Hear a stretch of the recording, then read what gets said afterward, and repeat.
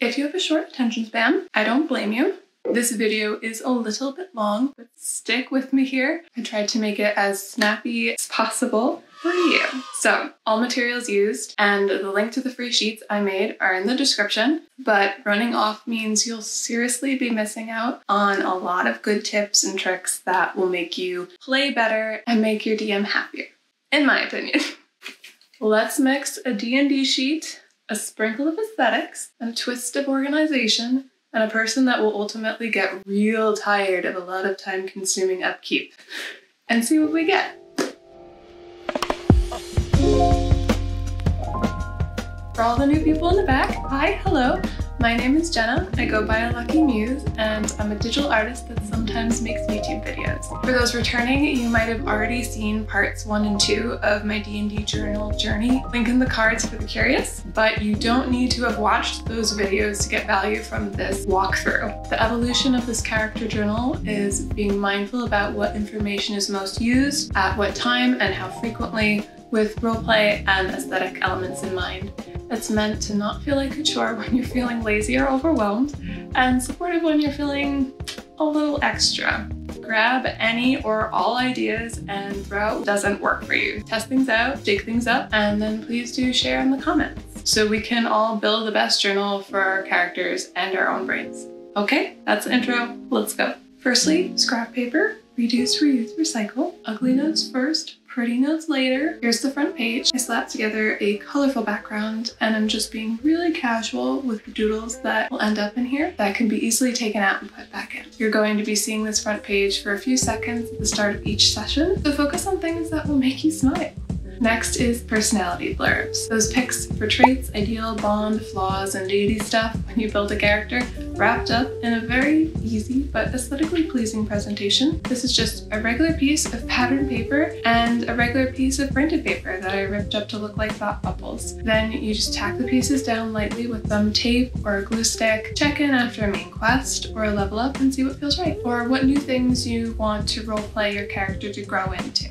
This is the main page, the one I spend most of my time on, and it's part of the custom character sheets I made that I'm sharing for free with my Discord community. Click the link in the description and it will take you right to the pinned post that has the Google Drive link. As you can see, this is filled with the meat and potatoes stats, the information you'll be referring to the most. The triangle symbols are for a short or a long rest, and the diamond is for a long rest. I also set up a tiny notepad section here for keywords or to gather your thoughts so you don't forget something if it's not your turn to speak or something will be occurring really soon, but you might get distracted beforehand. The next two pages are mostly used during combat. I found I like a hybrid setup for my spells. This is basically a chart of all the spells my character has and will have, color coded as well. And I pair this with the Spells 5e Android and iOS app, which is great because this is a complete database that allows you to type the first few letters of a spell and look it up in a snap. No flipping through pages or taking extra time to pull out cards. Honestly, yes, I love the aesthetic, but I will forever be a lover of Control F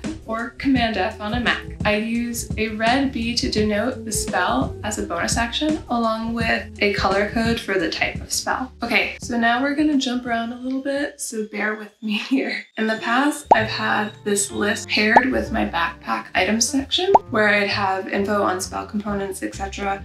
This literally requires jumping around, as you can see, which slows things down if we're trying to prepare spells in the morning, which you only have a little time for, or strategizing with the party when you're in the heat of battle. So here you can see I have color-coded spells for consumable and unique items. The unique items can be treated like collections. I have a checkmark if I have a component needed for it. For consumable items, I have the number of times I can use the spell.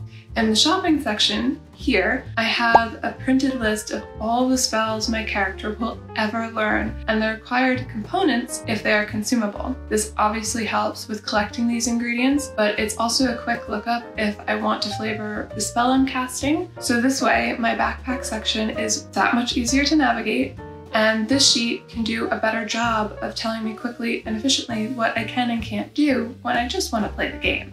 I will say, for clerics, Diamonds can make things a little tricky, and for anyone else who uses them as well. So any spare dust or bits of diamond do get trapped in the backpack. This is Combat Central. I have a space here at the top for important reminders, Warcaster, extra attack, etc. This space is standard weapon information, and I added info on my spiritual weapon as well. Really, any attacks you use consistently, just set them up where you can see them really quickly, like I have spiritual weapon here. Next is the space to accommodate ammo, 20 arrows or bolts to a quiver. Then there's this. This is pretty self-explanatory, the proficiencies. This info isn't really looked at too often, but I put it here as we're coming to the end of the character sheet. So then I have an area for notes at the bottom, having a little notepad here and on the front page I found was super useful in practice. You can get little thoughts out of your head to listen better. If you're a healer, you can track who's low on hit points and you can make a note for next session to make sure you don't forget the important decisions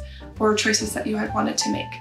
It's a little bit different than having note paper that you're taking notes on for general session stuff. Here is where I put some of the party art that I made, and this is a good time to mention that in addition to giving out the character sheet I just had showed you, I'm also interested in starting a digital art lottery for people's original characters. So if you're interested in free art for your character, be sure to click that same Discord link and it'll take you to that information as well. I also have a link in the description to my ArtStation if you want to take a peek at my art portfolio. These are the currently attuned items with their info. I do find cards work well here since they can be homebrew items. I think you can get specifically sized card holders for this size binder, but honestly, I just cut down an 8.5 by 11 sized card holder and it works great. This page starts my very specific copy pasta references from the books.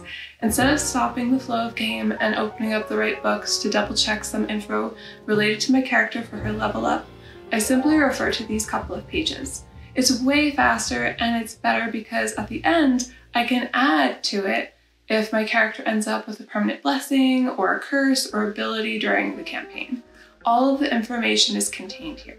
You'll see the level up chart only has what's important to this character. Only pull what you're using and what you will be using for your character level up. I highly recommend this. Okay, are you listening? This part is important. Here is the character growth page I didn't end up using because I didn't think critically about what would actually work for me. Make a character journal for the player that you are, not the player you want to be. One of the biggest problems with most plans and lists and aesthetic DIY is actually convincing our big dumb brain to engage and upkeep. If you are the type that likes the idea of looking back on character's growth, then I'd recommend making it a part of your level up routine as a habit stack. You can make a little reminder next to the level up table in the player's handbook printout from earlier, and then reduce friction by writing down only a few key words on the character growth page, or a hard limit of one to two, three sentences to sum up your character's outlook on themselves, the party, and the mission. For the front page personality blurbs, this can help inform any changes to it, and it can also help you get into the mindset of past, present, and future for your roleplay. Behind this is the backstory to my character if you struggle with this sort of thing, I recommend the but and therefore outline or Pixar's fourth rule of storytelling. If you want me to make a video on this and on building a good character background for D&D, let me know in the comments and I'll go into it in more detail in another video.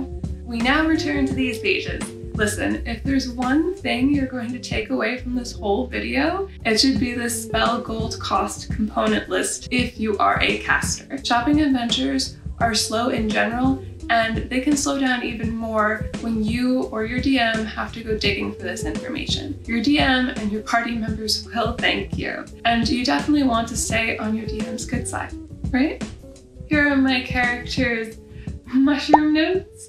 It's a fun thing to do, but don't ever feel boxed in by one method. You may feel motivated to do notes like this one month and then dry bullet note facts the next, or nothing at all. Go with your own personal flow in the moment. Let's be real, other players will usually try to remind you of important things anyway, and you can always ask questions in your private player group chat. Also remember to have a private player only group chat.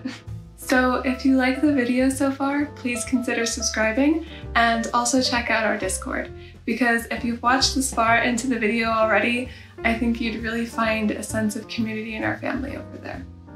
If you're not really a note taker, but you do like the idea of having some sort of notes, I'll recommend the list. This is a format ripped from video game quest logs. Um, it also functions as a loose timeline of events, and you can write it in the voice of your character if you want for extra roleplay flavor. Highly recommend this one. Next is Item Station. I have it separated into Backpack, which has more mundane general adventure stuff, magical items, potions, and scrolls, and Equipped. You can also have a section for a component pouch if you wanted to roleplay that. Another idea is to make note of what items are gifts. I found these categories were the fastest way to know what I have. If your group really cares about weight management though, I'd recommend a more digital solution that auto calculates for you and allows you to still organize by category. Notion, Google Sheets, fancy PDF, stuff like that. The graveyard. So if you think it's fun or interesting, try to keep track of the body count of the good guys, friends, monsters, bad guys, and see if it affects your character. Could make for some really fun roleplay moments. Parties never remember the body count. Here are my clean notes after making ugly ones on scrap paper. Not much to say about these. If you want a video on note taking, I can share my process. Just let me know in the comments. I've also been working on a video about summarizing a session as simply and quickly and easily as possible. So if you're interested, please like, subscribe, ring that bell, all that good stuff. I've personally gone mostly digital now with focusing on session notes, but I still use this when needed. All right, the end is near. This is the map I made for the campaign. It's genuinely fun to pull out a map for party questions and planning. Just work with your DM if you want to print out anything. And finally, here's the magic item cards and the other tunable items I can swap to. And that's it!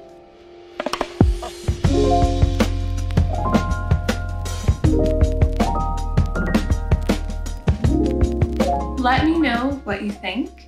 I enjoy making these sorts of things in general, so it might be fun to make new ones and come up with new ideas for the community. If you genuinely love spending the extra time collaging, coloring, drawing, handwriting, all that kind of stuff, just lay it over this framework. Again, this journal is meant to be supportive of you if you're feeling creative, but also not feel like a chore when you're feeling lazy or overwhelmed. I tried to make this as balanced as possible for my needs and hopefully for yours as well. D&D is complicated. If you find yourself constantly looking up something, fumbling, or forgetting, it's just a sign to write it down or type it up in a way that's fast and easy to find.